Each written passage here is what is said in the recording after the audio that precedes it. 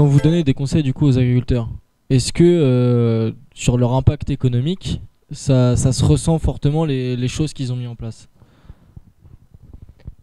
Alors, l'objectif déjà, c'est qu'il ne perde pas ce qu'il a déjà, économiquement. Il ne faut pas que ça le pénalise. Donc, euh, l'intérêt, c'est qu'il y ait un gain. Alors, pas forcément un gain, mais déjà qu'il reste à l'équilibre sur ce qu'il fait déjà et qu'il ait un bénéfice aussi pour sa culture. Donc, euh, parce que le levier pour, le faire pour faire changer tout le monde, si on commence à lui mettre des contraintes et qu'en plus on lui dit ben, tu gagneras moins, pas sûr qu'on soit. Voilà.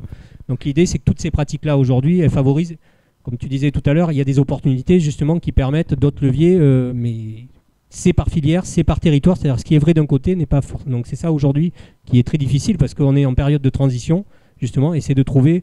Alors je prends souvent l'exemple, on travaille avec les collectivités sur les plans de climat, et d'un plan climat à l'autre, on voit bien que les stratégies ne peuvent pas être du tout les mêmes, et qu'il ne faut surtout pas, justement, quelque chose qui est vrai sur le nord du département, le mettre en place sur le sud sans avoir un recul, euh, voilà, pour montrer que c'est vraiment quelque chose. Mais le volet économique, euh, pour moi, c'est le plus important. C'est-à-dire que si on pénalise en mettant des choses en place, aujourd'hui, euh, déjà qu'on est dans un contexte voilà, qui malheureusement, sur certaines filières, n'est pas le plus simple. Après, naturellement, quand les choses paraissent, comment je veux dire, pouvoir améliorer, que ce soit au niveau environnemental ou des choses comme ça, ils y vont quand même parce que voilà, c'est leur outil de travail quand même. Hein, moi j'ai une question, parce que vous avez beaucoup parlé de tout ce qui était agronomique, mais en termes de zootechnie, par exemple des prairies, vous avez dit, ben, est-ce que vous accompagnez aussi les agriculteurs, par exemple, dans tout ce qui est pâturage tournant dynamique, des choses comme ça? Est-ce que vous proposez, je sais pas, des formations dans la chambre? Alors aujourd'hui, sur, sur le service élevage, oui, il y a une. Alors c'est une filière qui petit à petit a beaucoup travaillé là-dessus parce que les prairies, c'est souvent les premiers impactés. Et en plus, on parle beaucoup des prairies pour le stockage carbone. Mais pour qu'il y ait du stockage, il faut qu'elle fonctionne bien. Et pour qu'elle fonctionne bien, il faut qu'il y ait du pâturage. C'est-à-dire qu'une prairie qui n'est pas du tout utilisée, ben, au bout d'un moment, elle ne stocke plus, voire même plus compliqué, elle relargue du carbone. Donc l'important aujourd'hui aussi, c'est d'accompagner euh, ces transitions-là, justement, de valoriser les prairies. Il y a des gros travaux, donc je vous montrais tout à l'heure dans le détail des actions qu'on met en place. Il y a des choses qui se mettent en place, il y a des programmes européens là-dessus, et départementaux et régionaux. Et oui, ça fait partie aujourd'hui des priorités. Euh, parce que justement, quand on affiche, on verra tout à l'heure la balance carbone, stockage carbone sur le département, les prairies font partie des, indicateurs euh, qu'il faut préserver et voire améliorer même. Je prends l'exemple aussi de la forêt. On dit souvent ben, la forêt, ça nous permet aujourd'hui de stocker énormément, mais une forêt dépérissante, le problème, c'est qu'au bout d'un moment, ben, c'est l'effet inverse. Donc attention, voilà, s'il n'y a plus de, je veux dire, de travail de ces filières-là, petit à petit, on va perdre ben, un peu cette balance qui, pour l'instant, est positive sur le département.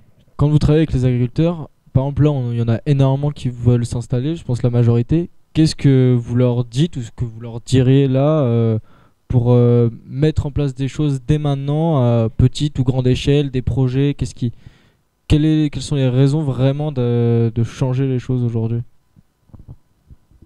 Alors, il y, a un volet important au moment de l'installation ou même au moment de changement d'un peu d'itinéraire, c'est la formation, nous c'est par ce biais-là. Sensibilisation, déjà, c'est les sensibiliser au changement climatique et le rendre factuel pour eux, pour bien leur expliquer qu'aujourd'hui, ce qu'ils ont connu, petit à petit, va évoluer et va évoluer très vite.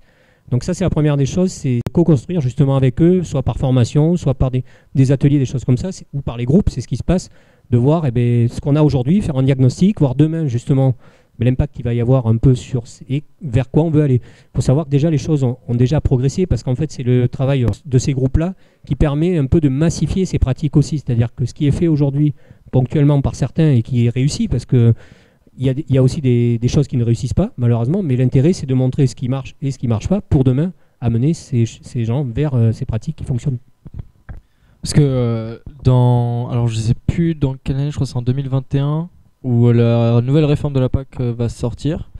Et euh, est-ce que vous pensez qu'il y aura vraiment un, tournant dans cette réforme-là où on va vouloir faire en sorte que bah, l'agriculture fasse sa part du travail, entre guillemets, sur euh, réduire leurs émissions de gaz à effet de serre et avoir une agriculture plus respectueuse en, général de l'environnement, pas que de l'élevage, pas que de la culture, pour en général?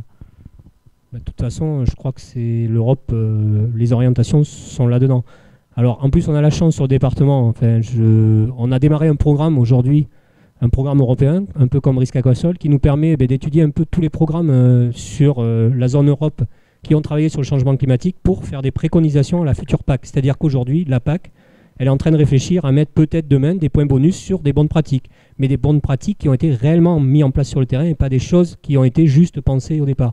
C'est-à-dire que par exemple, si on a travaillé sur la préservation des sols avec la mise en place de certaines choses, c'est peut-être demain la PAC qui pourra faciliter et accompagner ces, périodes de, transition pour certains. L'idée, elle est là aujourd'hui, c'est de vraiment trouver les choses qui marchent par territoire. Et oui, demain, la PAC, elle va tenir compte, euh, de toute façon, elle va être axée principalement aussi sur ces problématiques, changement climatique, adaptation et atténuation sur le territoire. Donc, euh, c'est vraiment un volet. Euh, et alors là, elle est en cours d'écriture, elle démarre juste. Et voilà, c'est en discussion, mais alors, on a la chance de pouvoir participer un peu aux discussions sur certains, programme. Et c'est là où l'intérêt du monde agricole aussi, c'est de faire remonter ce qui marche et ce qui marchera demain pour accompagner nos, nos exploitants.